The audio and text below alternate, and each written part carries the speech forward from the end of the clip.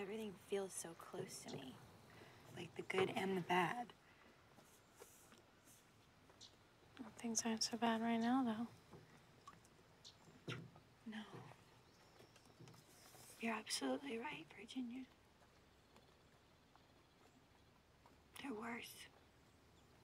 They're much, much worse. Well, there's nothing you can do about that now, so. You might as well. He must have really suffered, you know, my father. He was afflicted.